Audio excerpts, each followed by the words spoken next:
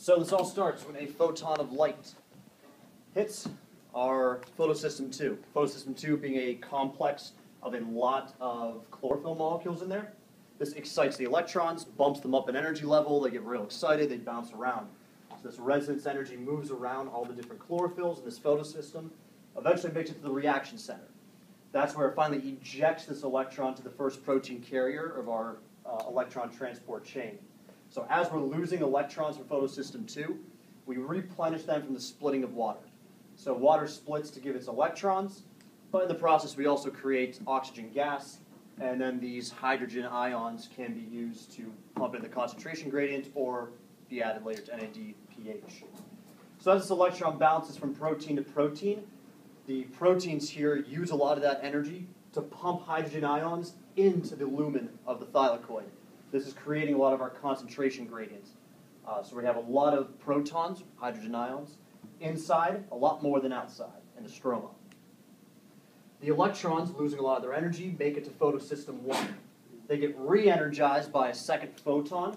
Same thing, they bounce around with resonance energy, get to the reaction center of photosystem 1, and they're transferred to another carrier electron in the electron transport chain.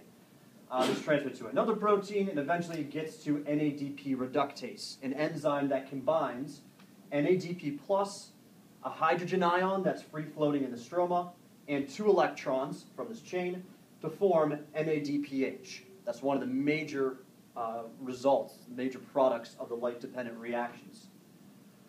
Also, again, along this whole way, we're still pumping hydrogen ions from the stroma into the thylakoid interior creating a, a much heavier concentration gradient. This is where ATP synthase comes into play. A transmembrane protein that allows for the flow of these hydrogen ions from the inside of the lumen to the outside in the stroma. Again, hydrogen ions being very uh, polar particles, they can't readily pass through uh, the cell membrane.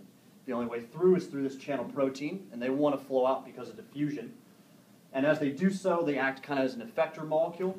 So as they interact with this enzyme, it allows the enzyme to catalyze the reaction of creating ATP. So voila, we've created ATP and NADPH.